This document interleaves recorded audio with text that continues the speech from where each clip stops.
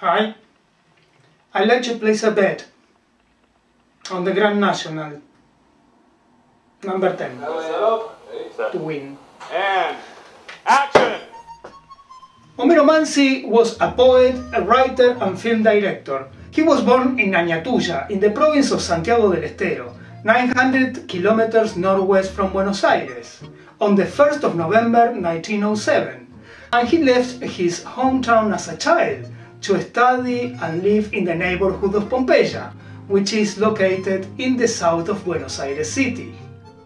Taking into account the difficult social and political times throughout Argentina at the time, and wanting to professionally difference himself from other poets, like for instance his admired and very good friend Enrique Santos Discépolo, or maybe because it just was part of his essence, he leaves Lunfardo, um, the critics to political, social and moral issues and instead he introduces the metaphor in his lyrics. He expresses longing and nostalgia by adding narration from the past, whereby describing the poor and suburban neighborhood as the main theme throughout his stories.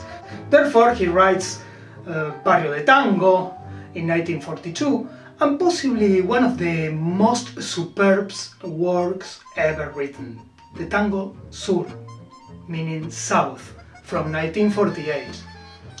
South, a thick wall and dense out, the light of a grocery store. You'll never see me like you used to, leaning against the shop window and waiting for you. Never again will I illuminate with the stars or peaceful walks under the nights of Pompeya, the streets and the moon in the suburbs, and my love in your window, all have died, I already know. He also made a huge contribution in the 1930s by landmarking the transition from the country milonga into the urban one by writing some of the most memorable milongas, such as Milonga Sentimental, Milonga del 900, Bettinotti, Milonga Triste, just to mention few. Manzi's short but fruitful life left a rich and vast production, including very romantic tangos, such as Fuimos, Torrente, Después, Malena, and a very famous vals like uh, Romance de Barrio, whose music was composed by his very close friend, the maestro Aníbal Troilo.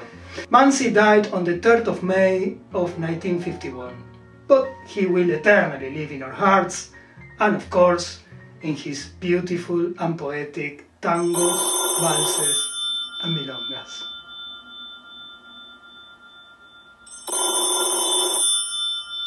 And that must be the bookies and a good news. Hello? Ah, Mr. Director. Mm, thank you. He fired me again.